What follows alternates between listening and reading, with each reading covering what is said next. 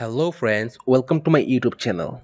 Today I will show how to add price range on Facebook page. For this settings, you have to open your Facebook app. After opening Facebook page, then you have to click your profile and scroll down and click to see your about info.